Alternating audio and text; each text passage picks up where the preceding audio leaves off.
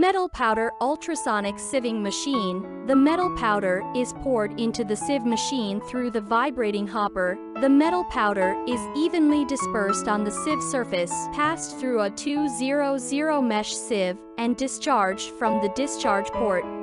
The use of ultrasonic system can prevent mesh clogging,